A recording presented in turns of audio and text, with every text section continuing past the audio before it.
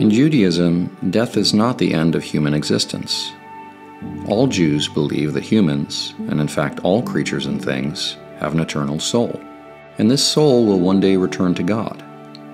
But while all Jews share this belief, there is no consensus view on what happens to our soul after our body dies. Do we go to heaven or hell after we die?